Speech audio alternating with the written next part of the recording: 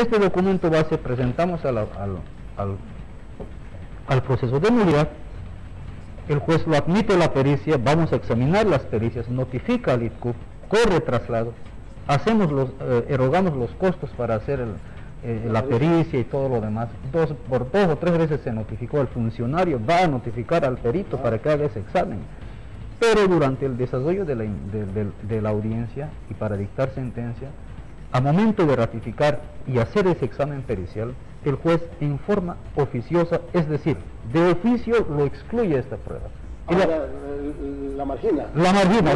no, no, no, no, simplemente dice eso, sino dice, lo vamos, excluimos esta prueba en razón a que eh, vamos a agraviar a la otra parte, me han presentado una certificación de derechos reales donde dice el doctor Alberto, Guzmán. Él es el juzgado. Él era del, es el titular del juzgado séptimo de acá, de la, capital. De la capital. Alberto Guzmán, el juez que hábilmente, de oficio, de, oficio, no, quiere, eh, darle curso a la pericia pese a haber la para determinar la supuesta falsedad que usted denuncia. Exactamente, pese a haberlo admitido a través de un auto motivado y fundamentado donde indica que se va a hacer, inclusive se ratificó los puntos de pericias, aquí lo tengo el memorial y el timbre. Permítame, fuimos a buscarle a, a esta autoridad judicial, fuimos a buscarla supuestamente para mañana a las 9 nos van a atender.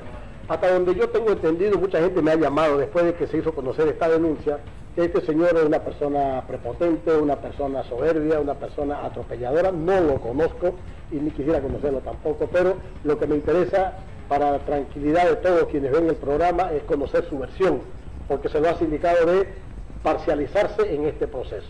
Eh, es lo que ustedes están denunciando, la parcialización de esta autoridad judicial para beneficiar a una persona que se quiere quedar con un inmueble que no es suyo.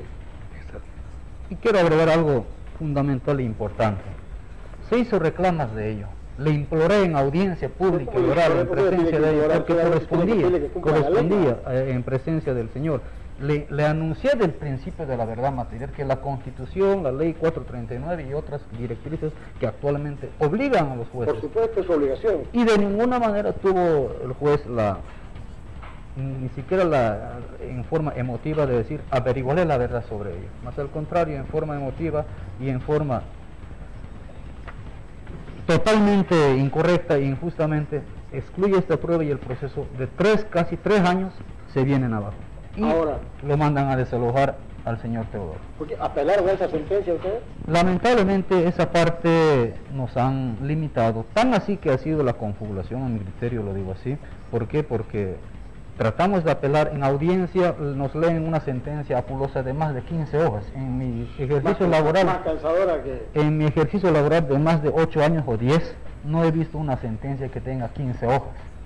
Pero aquí lo vi y no nos notificaron en audiencia. no nos... ordena que ustedes desalojen.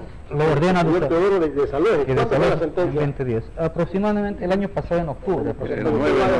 noviembre. Pero usted no ha cumplido esa sentencia. No. No la ha cumplido ni la va a cumplir tampoco. Tampoco cumplir. Muerto antes que, salirse de ahí, ¿no? Así es. Y la verdad que es una pena. ¿Dónde la podemos encontrar a la señora Lenny Ortiz de Bellido? Eh, conozco su casa, vive por aquí en el barrio Pumave. Se va a poner, no, aquí no, pues por allá el barrio Pumave, estamos aquí en el centro. Escúcheme, don Teodoro, se va a poner en contacto, se va a poner de acuerdo con nuestro equipo de prensa para ver mañana si hay un tiempito para ir a Ratingo, usted lo lleva a Chungo Ratingo y la vamos a tratar de ubicar a la señora Lenny para ver qué nos puede decir, pues no, hay que conocerla, hay que conocer su verdad también de ella, ustedes tienen la suya y ellos tienen la propia, entonces, y lo, que más me preocupa es que el señor juez Alberto Guzmán, eh, hasta el momento no se ha pronunciado, está el compromiso, dice, para mañana, para mañana, ojalá sea así, y así vamos a conocer la otra parte de la moneda. ¿Le parece? Gracias, doctor. Quiero agradecerle por su tiempo, de igual manera a usted, don Teodoro, por la confianza en el programa. Nosotros vamos a seguir con este tema y, por supuesto, eh, ojalá que esto sea eh, en buena hora para que ustedes puedan solucionar el problema. ¿Listo? Último. Sí, rapidito. Antes tomando en cuenta la relevancia del presente caso, hemos acudido a instancias superiores ante el Ministerio de Justicia y a través de este medio, mi persona, en nombre del señor Teodoro Velázquez, insto al Ministerio Público porque ya se ingresó una denuncia penal por cantidad. En este momento nos admitieron la denuncia en la principal, asumo que en un plazo de 48 horas van a ponernos un fiscal y convocamos al fiscal, al fiscal Mariapa para que a través de sus fiscales nos haga la celeridad del presente caso. este Perfecto, muy bien. Ya está entonces, la denuncia penal ya está en el Ministerio Público para que se pueda seguir el procedimiento correspondiente. Muchas gracias, don Teodoro.